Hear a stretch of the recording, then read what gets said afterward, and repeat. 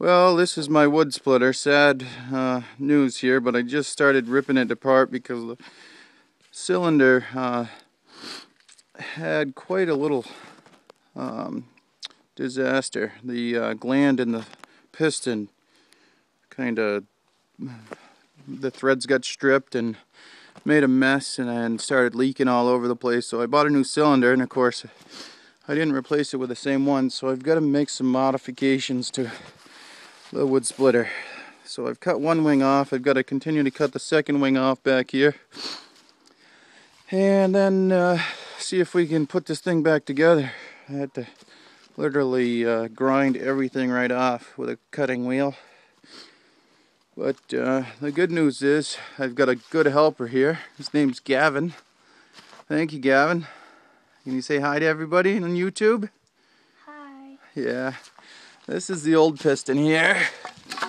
And this is uh, the old inlet. Uh, I don't know if you can see. Those threads are pretty bunged up.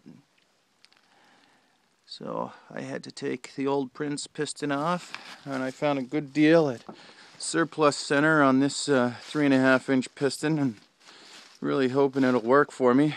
We'll see pretty soon. I hooked the hydraulic lines up and gave it a quick little test run, but it's hard to really tell right now whether or not this will work and serve the purpose that I need, but this wood splitter I bought secondhand and uh, for 500 bucks and I've replaced the filter system, uh, the detent valve, all the hoses, the power supply I picked up. Harbor Freight, six and a half horsepower for 120 bucks, 130 bucks.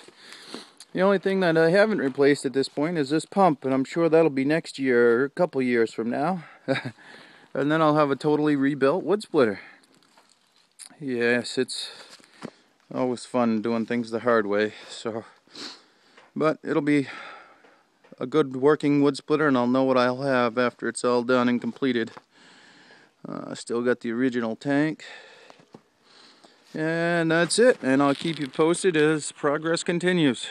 Thank you and have a great day.